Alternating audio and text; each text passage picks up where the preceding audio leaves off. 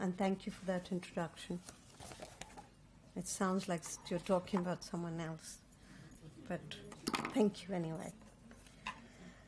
Uh, Lieutenant General Zahirul Islam, uh, Major General Khalid Amir Jaffery, distinguished participants, ladies and gentlemen, especially those who have come from afar, welcome to Pakistan and to this uh, interesting seminar. I wish to thank the Center for Global and Strategic Studies. I wish to thank the Center for Global and Strategic Studies for inviting me to share my thoughts with you at this seminar on the Shanghai Cooperation Organization, specifically Pakistan's role in regional peace and prosperity. I commend the Center for bringing together such a distinguished group of scholars from Pakistan and the SCO region to deliberate on the future trajectory of the organization and Pakistan's place in the emerging scheme of things. There'll be a lot of discussions on SCO, and my colleague who deals with, who's the additional secretary and the national coordinator for SCO, uh, Dr. Dr. Zahoor, he will be talking about in detail about Pakistan's work within the SCO. So, since I've been asked to talk about the role of Pakistan in regional peace and prosperity, I'll try, I shall try to focus on that. I believe the topic that's before us is, is both timely and pertinent. The world around us is changing, and the region we are inhabiting is transforming being shaped by inexorable forces of change, the inevitable momentum of history. Four aspects of this generational shift are noteworthy. One, the world is transitioning from a unipolar world to one of multipolarity. There is still a superpower that remains on the scene, and that is the United States but they are very strong powers in our region that are coming up and that they are there to stay China and Russia. Competition and cooperation between great powers of our time is determining the global, particularly the Asian, geopolitical landscape. Two, the economic epicenter of the world is shifting eastwards with the growing economies of the developing world and their burgeoning populations set to play perhaps a pivotal role in driving demand and growth. Three, transformative and disruptive technologies are changing and are set to permeate even further our lives in fundamental ways, both positively and even negatively, if I may say so. These changes invariably impact politics amongst nations. A case in point is the social media space where perceptions are created and changed, and sometimes even destroyed, and have the dangerous power of crafting and speaking to their own realities. This is a challenge that we are confronted with on a daily basis, and a challenge that we need to know how to deal with, or sometimes even ignore. Finally, international norms that have been put in place since World War II are perhaps under greater stress than any other time since 1945, many times under siege from the very architects of this framework. A sense of uncertainty has supplanted the predictability of yesteryears. We are living, it seems, in a moment of history when an older order is breaking down and evolving, evolving into something different, something new, which has yet to take place and to take shape. This is time for great opportunity, but also one of great peril.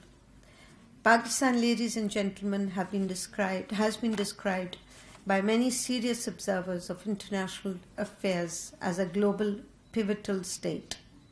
A state whose policies and positions resonate far beyond its frontiers and whose fortunes impact the international community in profound ways.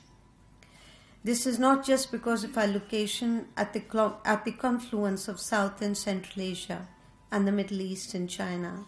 This is not just because of our own inherent strengths and potentials, the fact that we are a nation of 200 million and a leading member of, of the non aligned world as well as the Islamic bloc.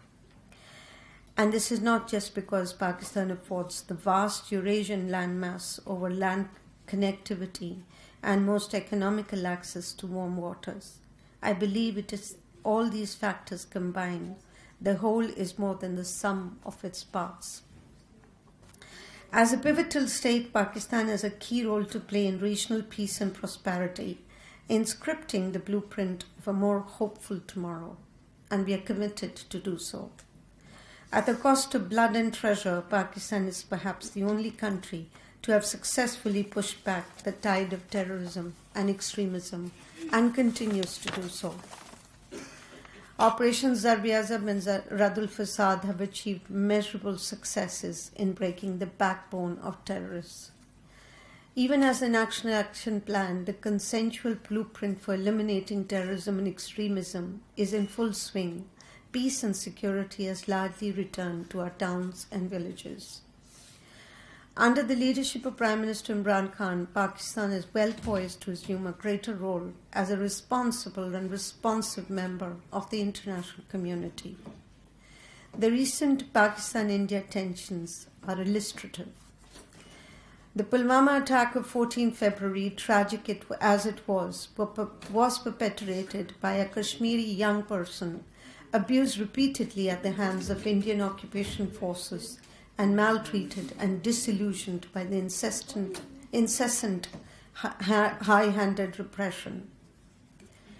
Unfortunately, without any investigation, and uh, in the middle, being in the middle of an election campaign, the finger was pointed at Pakistan.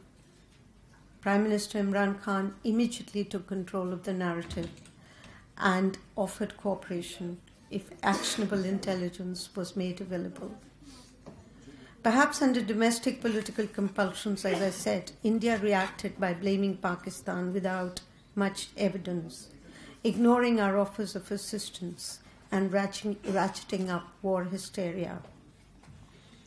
The penetration of our airspace and subsequent bombing of sovereign Pakistani territory on 26 February was a blatant violation of the UN Charter norms of interstate state conduct, and international law.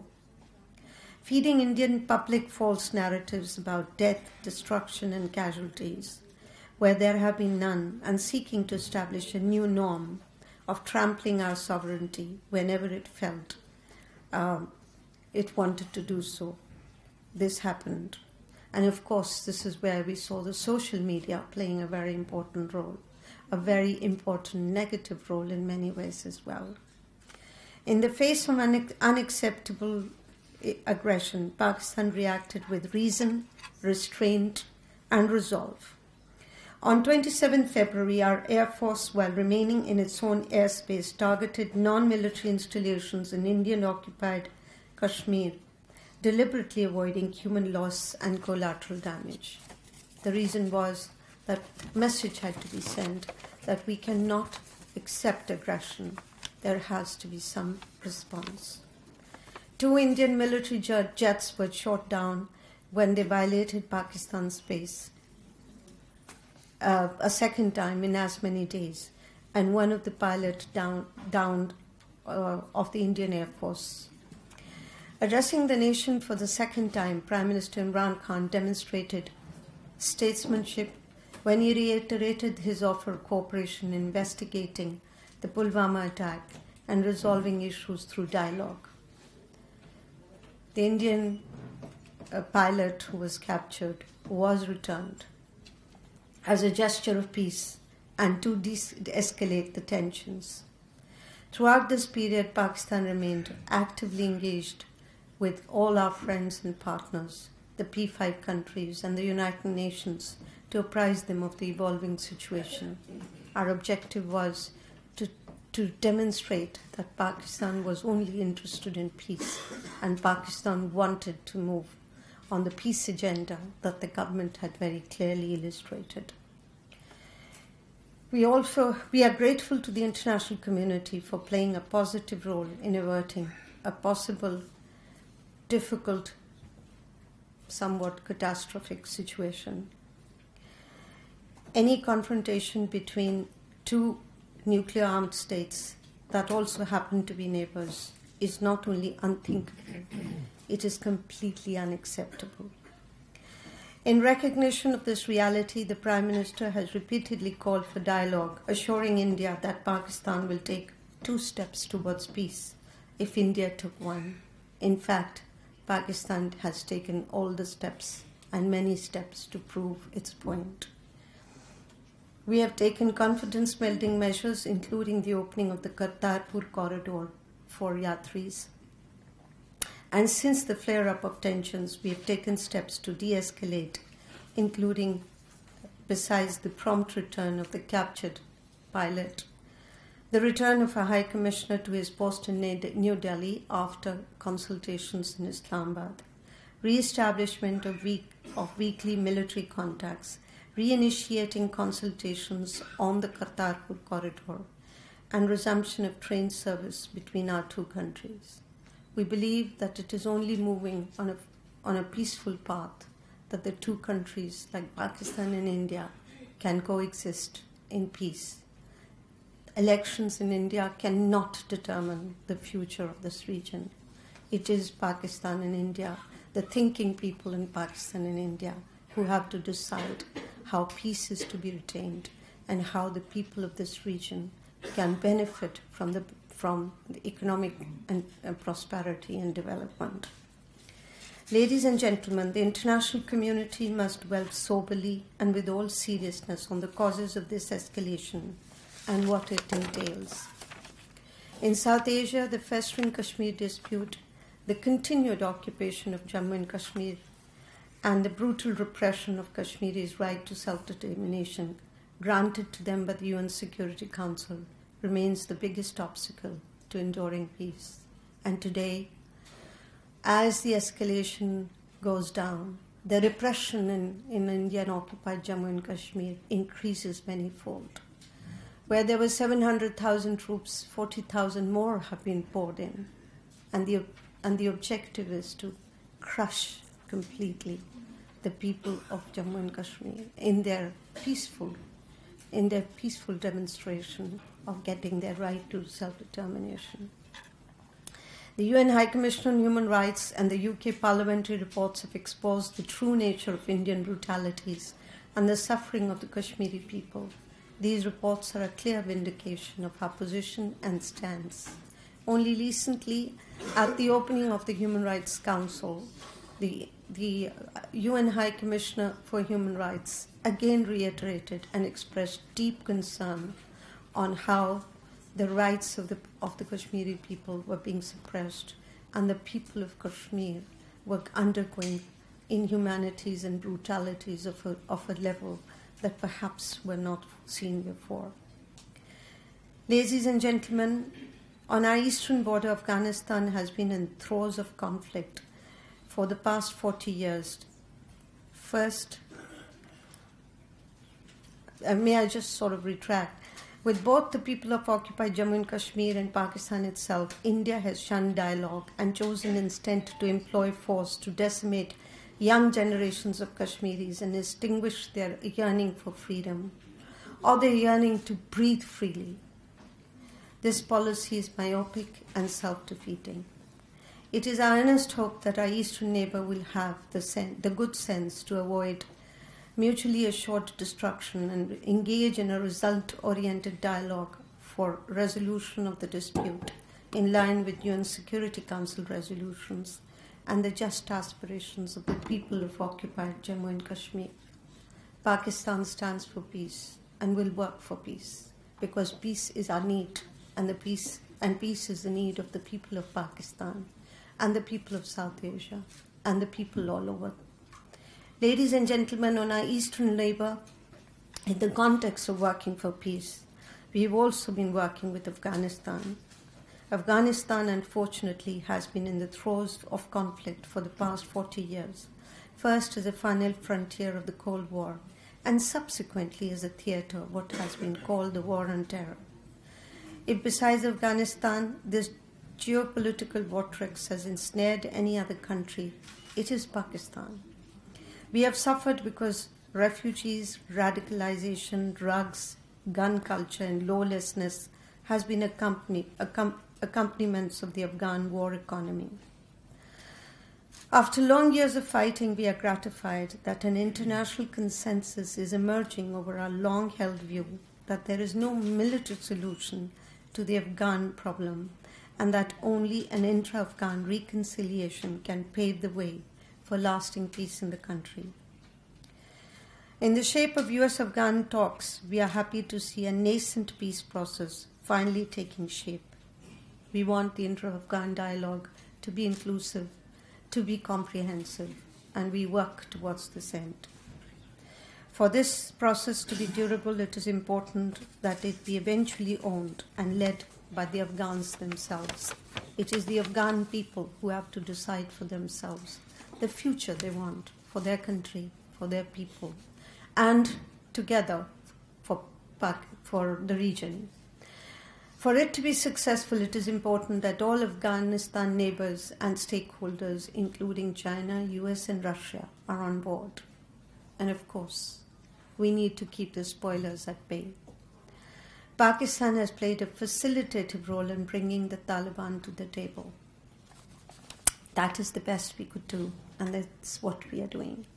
We have and will continue to lend all possible assistance in facilitating an Afghan led Afghan process of peace and re- reconciliation.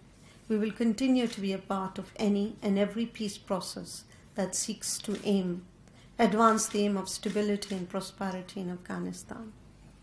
On our part, besides several development projects, we've imparted education to some 50,000 Afghans in our universities and professional colleges. In collaboration with China, an elaborate program of, for Afghan capacity, build, capacity building has been devised under the rubric of the Afghanistan Pakistan China Practical Dialogue and I thank our friend, the Chinese ambassador who's here today, for the work we do together in this regard. Given the long porous nature of the border between Pakistan and Afghanistan, Pakistan has taken the initiative of improving border management and fencing large portions of it. This, we hope, will not only provide security to both sides of the border, but will also be an important CT action Ladies and gentlemen, peace and stability in Afghanistan would make the dream of regional connectivity and, and consequent prosperity a reality. In Pakistan, the China Pakistan Economic Corridor, the flagship project of President, Xi, President Xi's Belt and Road Initiative, is fast reaching fruition. By slashing distances and cutting costs and catalyzing region wide connectivity, the corridor will help translate Pakistan's geostrategic location into geo-economic dividends. In the next phase, a series of special economic zones are being poised to establish along the length of Pakistan. The size of our domestic market and prospects of enhanced connectivity is already attracting interest from third countries. I take this opportunity to thank China and for its friendship for its time tested friendship that we've had with China. We thank China for always standing by Pakistan, as Pakistan stands by China in its moments of need. Together, we make, as they say, one is one, but ele- two is eleven. Two ones are eleven. With China, we do a lot of work for peace, for development, and we appreciate the work that the Belt and Road Initiative has done for the developing world in the context of development. Ladies and gentlemen, Pakistan is poised to play a pivotal role in regional peace and prosperity. And the elements of this are one, Pakistan wants peace and stability and has to be treated as a factor of stability within the region. Two, Pakistan has many strengths that are recognized globally and that the government is focused on, on building upon, so that this pivot of strength becomes a pivot of strength for the entire region and globally as well. Three, our economic and trade potential is immense and has been further underscored by CPEC, and it, as it offers to all its neighbors opportunities for connectivity and opportunities for growth and opportunities for trade. Uh, four, cultural connectivity is an important aspect of what we want to do within the region as well. And in this context, the government has, has started this important project on opening up. There has been announcements of greater visa flexibility and tourism opportunities being offered to the rest of the world. We have, within the Ministry of Foreign Affairs, also launched an, an important initiative called the Gandhara Forum, which will help the world come and see for itself the treasures we have as Gandhara art and especially Buddhist heritage.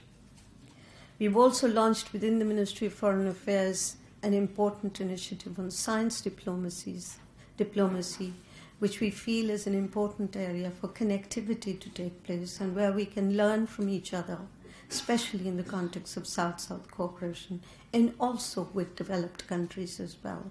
Possibilities and think and uh, and innovative ideas that will help development to take place. And of course, Pakistan as, a, as an important as an important entrant to the SCO, thanks to all the support that was given by all our friends and partners in the Central Asian republics, Russia, and China we feel ourselves to be part of a very important group which has the potential to look at issues of peace and security, of trade, of addressing issues of terrorism comprehensively. Through organizations such as SCO, which affords regional states, large and small, a platform to share the dividends of prosperity on the basis of equality, mutual respect, and mutual interest, we are destined to be invested completely into a more connected and secure future, embedded firmly in the rich tapestry of Eurasian community of nations. I thank you for your kind attention and I hope you will have a very successful seminar. Thank you.